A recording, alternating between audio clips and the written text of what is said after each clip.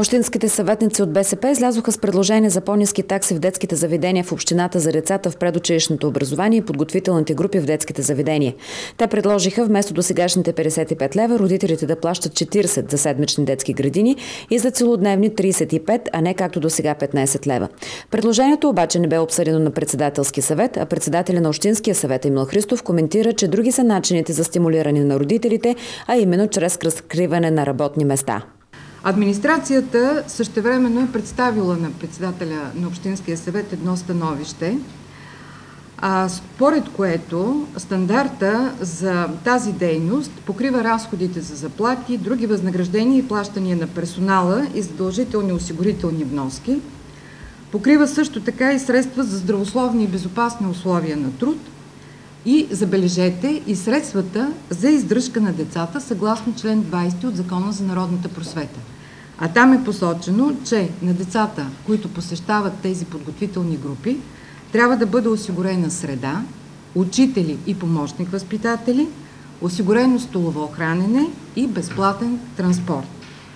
Същевременно становището, което общината е представила на председателя, се казва, че Стара Загора, общинската администрация, чрез бюджета финансира с близо 550 лева издръжката на всяко дете – но веднага искам да отбележа, че при този размер на месечни такси, които се събира, на практика, според нас, семействата поемат издръжката на детето изцяло.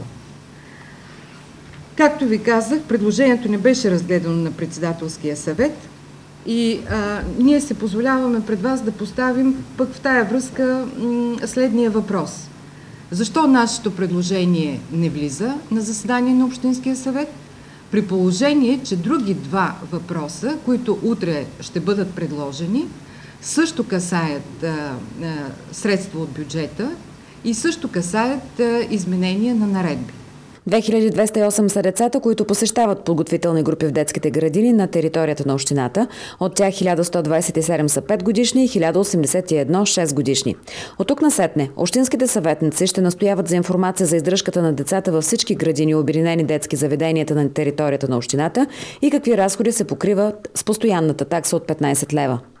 Без значение дали детето посещава детската градина през месеца или не, тези 15 лева задължително се внасят от родителите. Тоест, семействата плащат за една услуга, която детето може и да не ползва. Не бих искала да, да давам като пример, но все едно плащаме за болнично легло, при положение да речем, че не дай си Боже, човек се разболее. А, та, в този смисъл за нас е важно да знаем, но предполагам, че и за гражданите, защо се плаща за нещо, което не се ползва, какъв вид и какъв обем услуги а, се покриват и защо за една и съща услуга, т.е. за посещение на детска градина, на практика семействата заплащат по два пъти.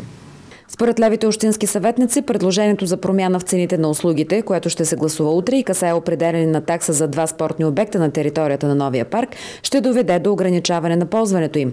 Шестимата от БСП Лява България ще питат и какво ще се покрива с тези средства.